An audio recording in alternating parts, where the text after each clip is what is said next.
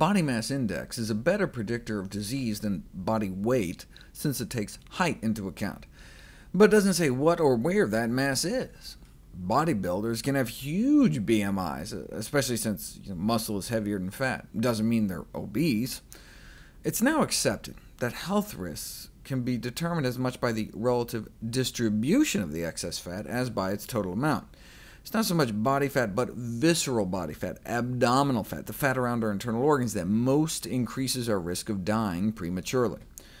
All these women have the exact same BMI, but it's the people with the so-called apple shape that tend to live the shortest.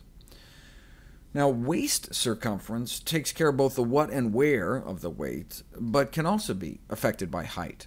Enter the waist to height ratio. Move over BMI, we now have WHR. A systematic review of waist to height ratio as a screening tool for the prediction of cardiovascular disease and diabetes was recently published, the first of its kind, concluding WHR was superior and the cutoff should be 1 to 2 supporting the simple public health message, keep your waist circumference to less than half your height. It's cheaper, right, more convenient, no scale required, and most importantly, more sensitive as an early warning sign of health risks to come. Just take a cloth measuring tape and measure halfway between the top of your hip bones and the bottom of your rib cage. Stand up straight, but breathe deep, exhale, let it all hang out, and that measurement should be half your height.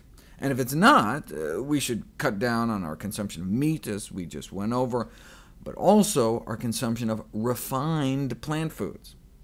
Uh, whereas at least three servings a day of whole grains was recently associated with a slimmer waist in the Framingham Heart Study.